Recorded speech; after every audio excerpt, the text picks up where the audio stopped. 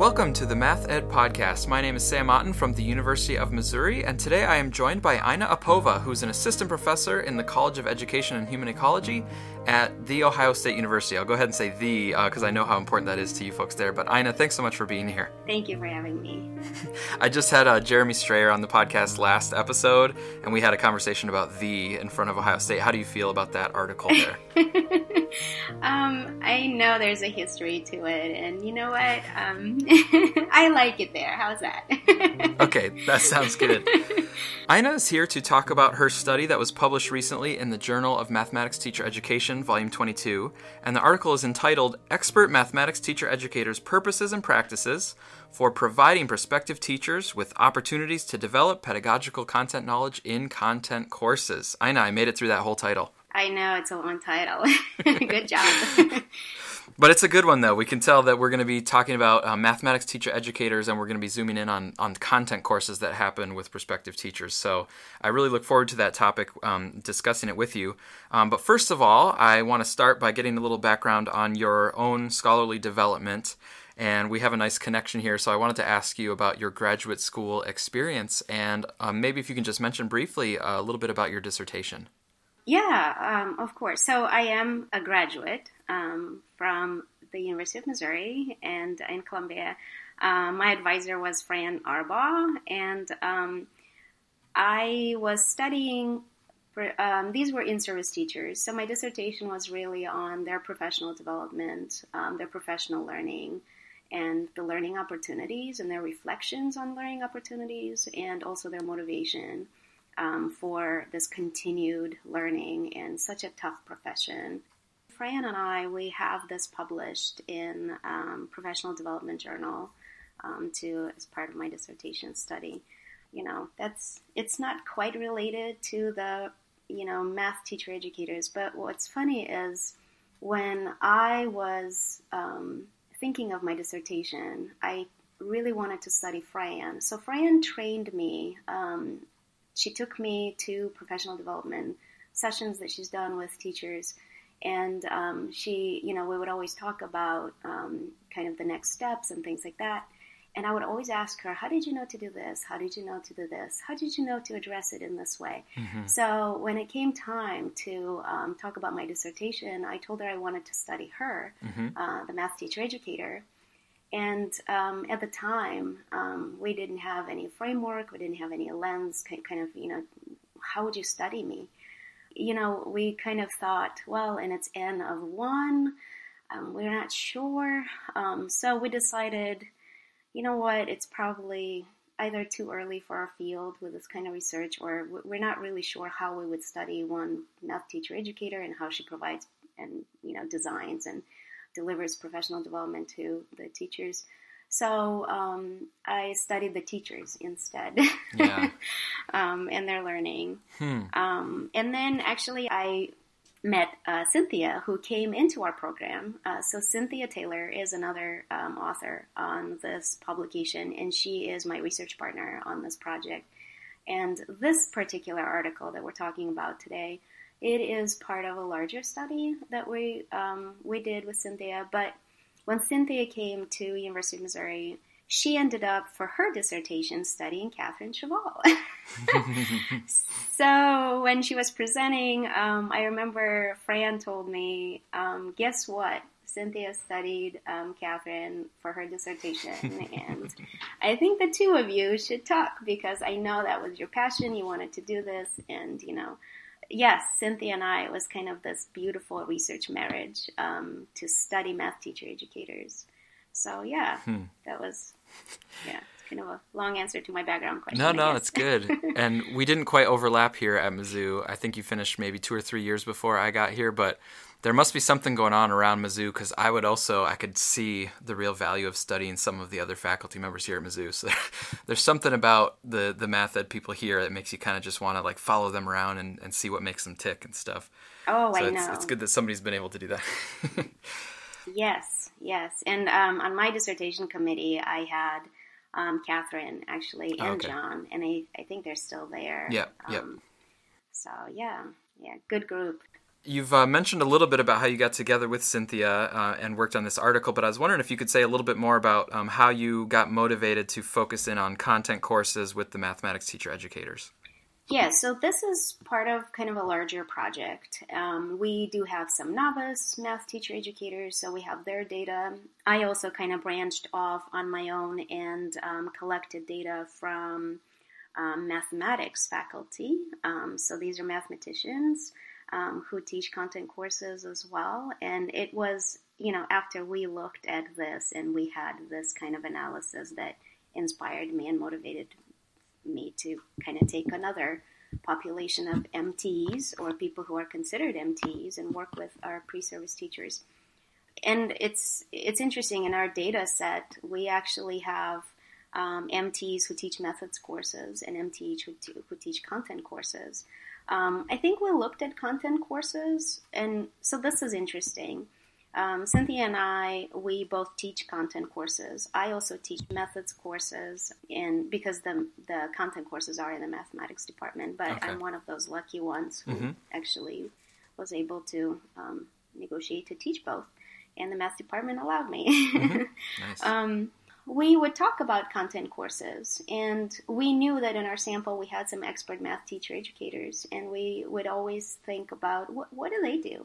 Um, because we also have video data. So this, what we published, is only the interview data with math teacher educators, where they get to um, they got to reflect on their content courses and what they do, and all kinds of different things.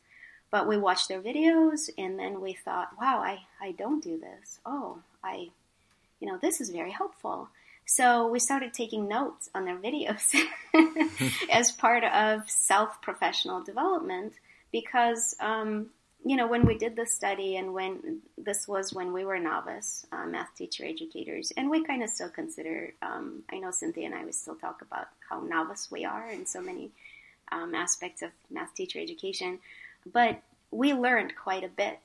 And what we realize is that there is a difference between um, this kind of a novice expert paradise when it comes to math teacher educators as well.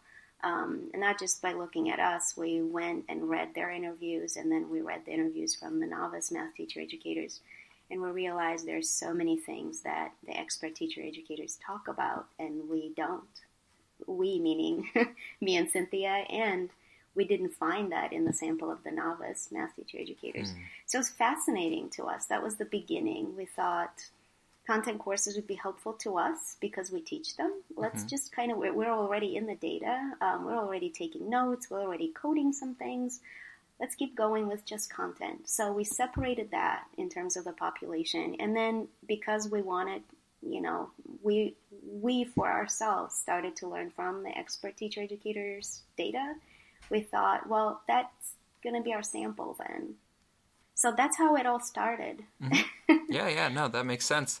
So we have this focus on the content courses and then specifically interview data with experts because you're seeing some more interesting, rich things that you wanted to dig into and understand from the expert math teacher educators. Uh, I also want to say, uh, ask you to describe the, the setting and the participants. So when you say this group of expert mathematics teacher educators, uh, what kind of folks are you talking about?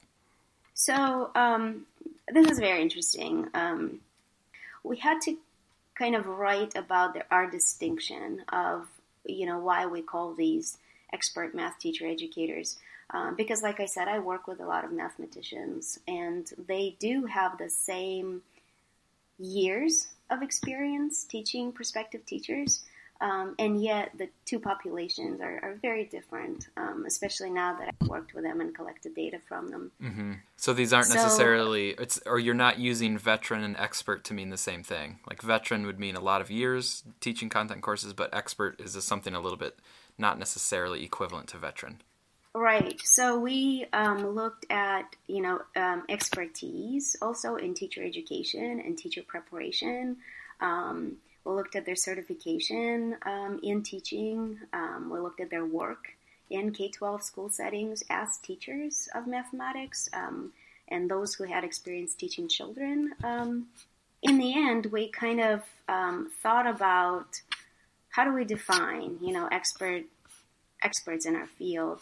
I actually have, I know we looked at at least combined um, teaching experience. And when I say teaching experience, we on purpose um, did not include teaching experience as graduate students, for example, because Cynthia and I would both had that. Um, and we did not want to include that. So it's really teaching experience as a faculty of prospective teachers, but also teaching experience in the K-12 school settings or you know classroom settings. So our participants are um, they have at least 15 years of combined K-12 um, teaching experience and prospective teachers. They uh, we wanted for them to have at least a master's degree, and in fact, all but one had PhD. We also wanted them to be professionally active in the field of mathematics education, you know, attending conferences, presenting at conferences, uh, publishing, and so on and so forth. So these were math teacher educators. Um, we actually ended up, um, our sample um, had, I think, eight of the participants had more than 20 years of combined K 12 experience in um, the university level teaching. And then the remaining two, there was 10, by the way, mm-hmm. Um, six males and four females. Um, and then the remaining two had 16 years and 18 years, um, kind of the, the combined experience.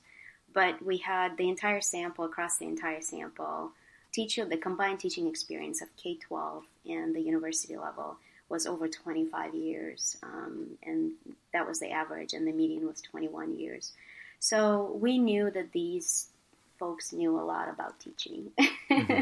and we wanted to kind of learn from them about teaching prospective teachers. But we also knew that these people are our colleagues in the field and they are active in the field. So it's it's very interesting. Yeah, but this is how we decided to really focus in on on these expert that this population of math teacher educators that we decided to call expert. Mm-hmm. And so in the interview data, you talk about a lot of things about the content courses, but um, the article focuses on the learning opportunities that the math teacher educators describe as occurring in their content courses. And you break those down into different categories. There's uh, learning opportunities about instruction, there's some that are about students, there's some that are about curriculum, kind of using pedagogical content knowledge sort of framing for it. But I was wondering if you could just hit a few of the highlights for us about how did the expert mathematics teacher educators describe the learning opportunities that they try to bring about in those content courses? Yeah, so this is the difference that we found. Um, I think, and there's a lot of research already out there on focusing on the content knowledge um, of the prospective teachers when we teach content courses, um, which is, you know, I think very natural too. Um, and because the goal, and for math teacher educators that we studied here for the expert MTs, that was also the goal, you know. So, but we were very surprised to see when they talked about manipulatives, for example. I've read so much research on, you know, using manipulatives for prospective teachers to learn mathematics, um, to use it as a model to kind of grapple with mathematics, but it's really to learn mathematics that they will teach.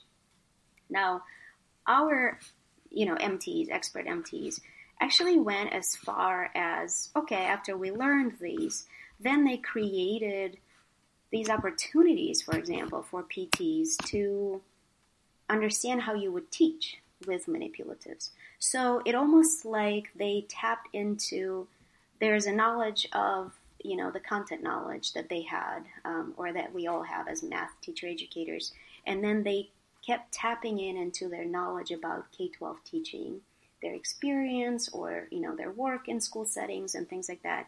So, for example, just looking at manipulatives, which is under the you know providing uh, prospective teachers with kind of developing their knowledge of instructional strategies, they took that further. So they set it up stations. So we have, um, I think Odessa, one of our participants, she set up four stations in her classroom, in her content classroom, with base 10 blocks.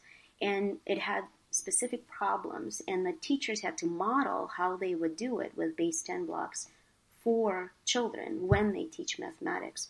So that was a very interesting kind of an extension, and we didn't we didn't see that from the you know the MTs and other populations. Um, I definitely don't see that when mathematicians talk about teaching content courses, and we didn't see that in the novice math teacher educators. Um, teaching the content courses. So it was, in the same thing with, you know, knowledge developing pre-service teachers, um, knowledge about students.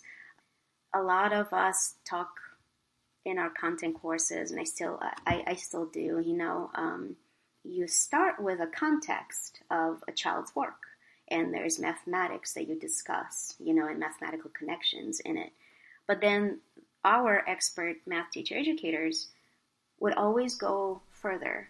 Um, they would tap into the K 12 or their knowledge of K 12 and they would say, How would you teach this? How would you respond to this? What kind of strategies you would use? You know, mm-hmm. um, and then there was a whole um, area, if you read the article, they talked about the extension of that. So taking that further step in terms of the theories of student development, student cognition, so they talked about Van Hiele levels and the you know trajectories and the kind of things that you would do with kids to develop that, um, and the strategies.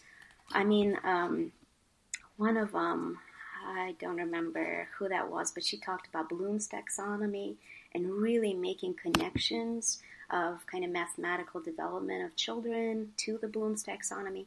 Mm-hmm. We did not hear that from the other population that we have um, in our study. And again, I'm not, I don't hear that at all from working with mathematicians too. Hmm. Um, and the last part, which is developing prospective teachers' knowledge about curriculum, um, this was very interesting. I, I had a chance to talk to another math teacher educator in the field, and when I was kind of talking about the study, um, her response was, "Who's got the time?" to bring up all these, you know, standards and mm-hmm. principles to actions and all of that. Um, but what we learned is it was so important to the expert math teacher educators. Um, for example, I can probably relate to what my colleague in the field told me. Who's got the time? I'm barely trying to get through the book right? Um, whatever the book is, is adopted, and do the problems and do the math and kind of assign the homework and grade the homework. So, are also, I think, our major focus as maybe novice math teacher educators is the content to make sure that our prospective teachers understand mathematics conceptually. Which for math teacher educators, that was also um, it, it was a large part of their you know what they talked about. So we had to separate that data and kind of find this because we found that this this is a chunk of data that we don't see from other populations in our study. But they they made sure this was so important to them, connections to the curriculum, to the standards, you know, to the intended curriculum. They also made sure that they brought lessons specifically from third grade and fifth grade and eighth grade and kind of created this pedagogical trajectory for you know prospective teachers to see how the teaching will evolve how the student learning will evolve through the grade level. So yeah it, it was very interesting um, to see how much more they had kind of reflected on. Yeah. And in the article, it does come through the rich web of meanings and connections that they're having for the, the things in the content courses. And if you think about the content course as the more straightforward of the teacher preparation courses, you know, like, oh, methods, there's all kinds of interconnected issues and complexities. Content course, that's simpler. You can just focus on the mathematical ideas. And then to hear these expert MTEs talking about it and how rich the, their meaning is and how they are connecting the content to the instruction and curriculum and other things. And even though this is, you know, uh, interview data, the fact that they talk about it in these ways shows that that's going to either subtly or very explicitly kind of feed into how they you know actually implement the course i think it's really interesting to think about and learn from. I also want to give you a chance to talk about this um, issue that kind of bu- bubbled up from your analysis and from looking at the data. This issue of orientations toward teaching came up. Uh, it seemed like it came up organically. I wonder if you could maybe tell us about how that arose in the data or how it came to be included uh, in the study here. Oh yeah. So this was one of those things that uh, we we noticed. There's this um, data that only belongs to pretty much this particular population of MTEs, but there's also um, yeah they they talked about a very specific orientation um, toward teaching mathematics and how everything they did it was almost, um, you know, one of the the things in the title that we say is the purpose, right? What is the purpose of teaching a content course?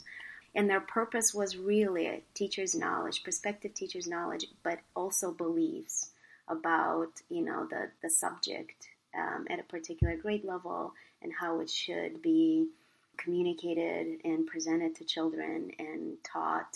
Um, and it's funny, so one of the participants, Oliver, for example, he talked to us about, um, I have a quote here from him. He said, I asked them to buy Principles to Actions this year. Um, as a supplementary book for um, a content course, um, and he used it as a guide for finding out the ways why he is doing specific things with pre-service teachers, but also um, pretty much referring back to kind of these mathematics teaching practices that he wants prospective teachers to not just be aware, but you know we're going to do an activity and this is how it's related to this, and you know, um, so really decompose and and for them to to see it, to have a visual model of what this what do these principles look like in actions right right? So this is principles to actions. Mm-hmm. um, but we had many of them also mention um, for example the math pro- process standards from um, 2000 the national council of teachers of mathematics. Um, we had um, very explicit Vance, for example, he talks about uh, the math practices, uh, the Common Core. Um, so they it's almost like they had a vision and a purpose every day for the lesson that they created for prospective teachers. And I think, again, going back to what my colleague has said, um, and Cynthia and I, our discussions about teaching content courses, um, and you know, we're, we're looking at the textbook. So, textbook drives a lot of things that you do, right, and the mathematics in it. And so, our lessons are pretty much within what's in the textbook. And we got this data that showed that expert teacher, uh, math teacher educators, the textbook is a resource, and then they supplement with these lessons from middle school and elementary school, or they know exactly how to set up stations to make connections to those lessons. So even if the lessons, the content, you know, course textbook, um, the lessons in that textbook didn't have those connections, they knew how to make those connections. So they tapped into their K 12 knowledge, um, K 12 knowledge of teaching, I guess. Mm-hmm. Um, every time I think that they prepped. Um, what was also interesting, they, they had examples. So we had a follow up interview, we had an initial interview, we coded that, and then we had a follow up interview. And it was um, interesting that we would ask them for an example, and they had an example hmm. right away. They didn't have to think or reflect or um, you know, um, and they knew the examples. They knew exactly what particular math practice they wanted to address with that, or what particular kind of orientation towards teaching that they wanted to address with that. It was a very interesting kind of a data set for us, um, and we learned a lot. Uh, Cynthia and I. Um, I think my own practice have changed mm-hmm. after we, yeah, we coded the data and found all these wonderful things. yeah, I want to actually um, ask you about that in a moment. But um, before we leave kind of the, the main heart of the article here, um, one thing that I noticed is that there is an emphasis on knowledge, and you know that's a, a, framework that you brought to it. But I wanted to just check with you because I've been noticing this quite a bit in teacher education circles. Like for example, when the Association of Mathematics Teacher Educators (AMTE) when they released their standards for teacher education programs, when I looked at that, I felt like it was largely framed around knowledge and the stuff that we hope that people know as they graduate to go become teachers. Um, versus you know maybe emphasizing um, stances or emphasizing practices or skills or things like that. Um, but knowledge seems to be the the main point of emphasis. And so I, I just wanted to ask you in this case, um, was that focus on knowledge um, because of your framing of the analysis? Was it just an artifact of the way that they the MTEs were naturally talking and thinking about teacher education. So if they think about it as knowledge, then of course the data is going to kind of it's going to come out as being knowledge focused. Or do you think it was something about the fact that you were talking about content courses and maybe content courses tend to lean more towards knowledge whereas if you talk about methods courses or something else maybe it would have been more practice or skills focused or or dispositions or stances or something. So I, I just wanted to get your your sense of, of where that knowledge framing was coming from. So we did, I mean, we did find the stances. So orientations mm-hmm. to me are kind of like beliefs in the stance and the viewpoint of um, mathematics teaching. And I think the, the knowledge part of it is, I think when math teacher educators create their lessons, they think about the kind of knowledge that the pre-service teachers will take away mm-hmm. from that. So it could be a pedagogical knowledge, just general pedagogical knowledge, mm-hmm. um, because some of them talk about just group work, putting them in groups and having productive groups, and for them to function in a group. So to me, that could be in science or any other course, right? So that's a pedagogical knowledge, um, general pedagogy. Um, and then there are very specific skills that you know uh, prospective teachers would take away from um, other courses. Um, for example, they talked about base five um, for them to really grapple with mathematics. So these are kind of understanding their base ten. So it's a very content knowledge that they have. And then there's this, you know, base ten, setting up stations. And you probably know from the right now, um, many schools are moving towards the stations kind of a teaching model, um, and they do station rotation with children in schools. At least the teachers I'm working with. Mm-hmm. For me to see that the the MTE setting up her, you know, her content course, or at least a lesson within her content course, to model that kind of teaching, um, because he or she knows that the the population of learners that she has, the prospective teachers, will definitely see that probably in, in you know, in their uh, career. So I think the knowledge is they, they think about kind of this broader sense of what will they learn. But I, I do think that their their purpose behind it is for them to learn and develop the stances and specific strategies for teaching, um, and definitely knowledge of mathematics um, that they will teach and how to deliver this mathematics or how to teach this mathematics to children. So I don't know if it's knowledge, if it's oriented towards like knowledge bases, um, but I, I do think that you you kind of alluded to that too. Um, the framework right now for pedagogical content knowledge, it is framed within the knowledge, and so our orientation piece that we added at the end I, I don't know if orientations come from knowledge. I think it comes from also experience and the experience that informs your beliefs and your observations that you make as a learner uh, or observations that you make as a teacher or teacher learner. Um, so I, I, I'm not sure if orientations is knowledge specific. So that might be also something that gets at your question a little better.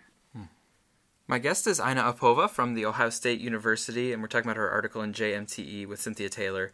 Um, so you mentioned that having done the study and the analysis and thinking about it and writing about it has had some influence on your own self and your own work as a teacher educator. I wonder if you could just say a little bit more about the influence that this analysis has had on you. Um, well, definitely made me a better, I think, um, teacher educator when it comes to teaching content courses it also helped me to share some of this with, um, I, I, think I mentioned, I'm working with mathematicians who are teaching content courses. It's a wonderful group of people who I think this work has helped to inform their practice as well. Um, and, you know, I, I've collected data from them to see how different um, that data is, and it really is different. Um, and I think it also had helped us to.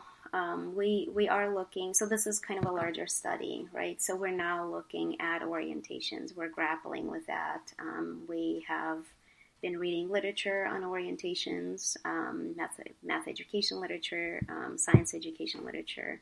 So it's it kind of has an impact on both your practice and research, I think, especially right now because this is our project right now that we're working on. Mm-hmm. So Cynthia and I are planning on our next step is um, to look at the videos um, and code the videos um, and test some of the models that we have right now in the field and that would be our first step. And we still want to stay within the expert math teacher educators because of how much impact it has um, made on my practice and Cynthia's practice. And we just want to document as much as we can what these um, what are these classrooms of math teacher educators? What do they look like? And I think they're they're just going to be really good implications and contributions to the field. Um, and then, of course, we are you know future steps is to really look at how we do see the difference. Um, what is that? How can we measure the difference, or how can we identify the specific differences between this novice expert paradigm when it comes to math teacher educators? And then um, I think the more somewhere in the future, because I'm still collecting data from uh, mathematicians who teach content courses, I think it would be interesting to see, you know, what about the people who end up teaching content courses and didn't have the preparation that we did as math, you know, math teacher educators who have gone through PhD programs that kind of um, helped us to be ready. I had internships in schools. Um, Fran took me to do professional development with teachers. So I came prepared um, to a certain extent, I think. But I, I, do see, at least currently in our profession, we have people who are not quite prepared or as prepared as we are. Um, they have different experiences and backgrounds, and um, what are some things they're struggling. Um, so that that is my main point for the future. I think by studying the math like mathematicians who are teaching content courses, mm-hmm. and they're having a lot of fun with our prospective teachers. Um, uh, one thing they've been telling me is that this is the most vocal population, especially if they don't like something that we've ever experienced. so our future elementary teachers, those are the primary, you know, populations that yeah of mathematicians that I'm studying. Yeah, yeah. there's a yeah, there's always a lot of conversation um, when we get the course evaluations back from the future elementary teachers because um, yeah, it can definitely go one way or the other and uh, they do have thoughts about it, which are actually very good to hear and to kind of you know reflect upon those as we plan for the next time the course is running. And uh, I also just want to say, as a mathematics teacher educator myself, um, I just want to thank you for this work because it is has given me things to think about myself as I strive to become an expert mathematics teacher educator. Hopefully. Oh yeah. Um, but I I do have another final question I want to ask you before I let you go and this is just a fun question um, to get to know you a little bit better since we didn't overlap at Mizzou. So I'm sorry about that, but I am curious if you weren't in math education as a field, is there something that you could imagine yourself doing as an alternative career? Oh, that's actually that's a very interesting question. I didn't start as a math educator. In fact, uh, my my bachelor's degree is in econ, um, economics, hmm. and I've always wanted to study the world and the real world and you know the business world and industry, and eventually open my own company. Mm-hmm. Um, so the the mathematics part of it was very interesting. And when I came to Central Michigan, I did my master's in math to study that. So I was I was very interested in just mathematics and applications of mathematics.